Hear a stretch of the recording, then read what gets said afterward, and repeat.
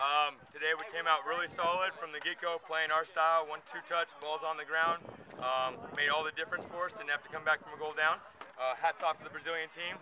I know they were tired from all their games today, gave us a hell of a fight. Um, like I said, when we play our game, I don't think anybody can beat us.